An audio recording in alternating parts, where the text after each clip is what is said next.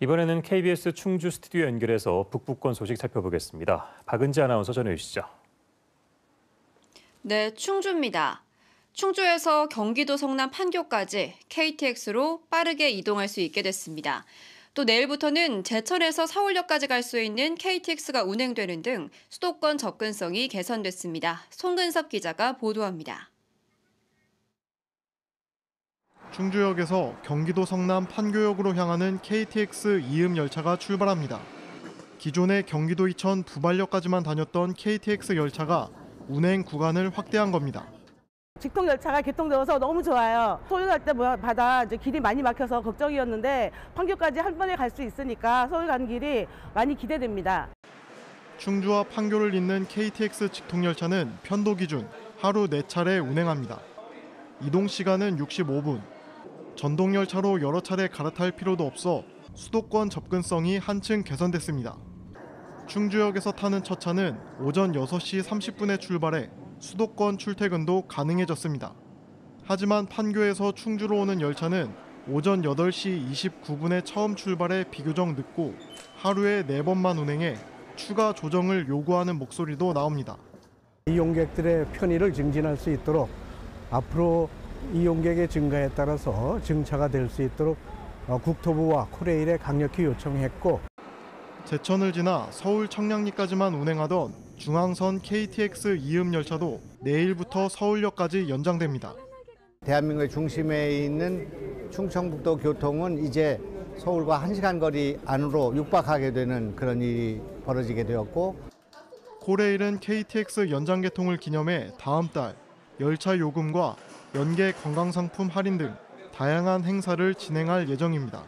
KBS 뉴스 송근섭입니다.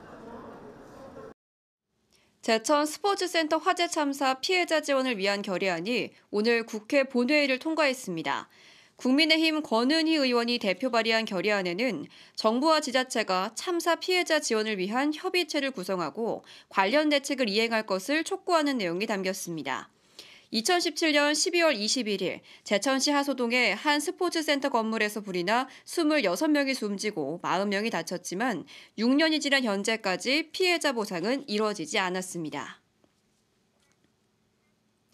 충주시와 충주경찰서 호암병원이 오늘 정신응급상황 대응 체계를 강화하기 위한 업무 협약을 했습니다. 세계기관은 정신줄 환자 등의 응급 상황이 발생하면 현장 대응과 응급 입원 의뢰, 병상 운영 등에 협력해 대응할 계획입니다. 충주시는 이번 협약으로 응급 상황에 더 신속하게 대응하는 등 치료 환경이 개선될 것으로 기대하고 있습니다. 무소속 권석창 예비후보가 오늘 제천시청에서 기자회견을 열고 내년 총선 제천 단양 선거구 출마를 선언했습니다. 자유한국당 소속으로 20대 국회의원을 지냈던 권 예비 후보는 25년의 공직 생활과 2년의 국회 활동 등을 토대로 지역 발전을 이끌겠다고 밝혔습니다.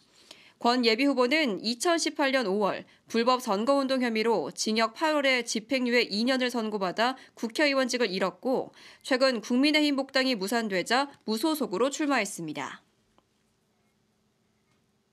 제천시가 올해 10대 성과를 발표했습니다.